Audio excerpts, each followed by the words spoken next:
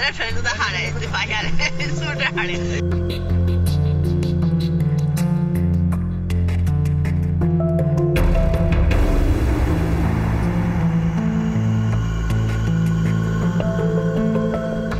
在路面行驶的过程中间，你不能交给未成年的孩子去开。认为孩子哦比较聪明，或者是呃他可以在他练练手，这是违反道教法规的。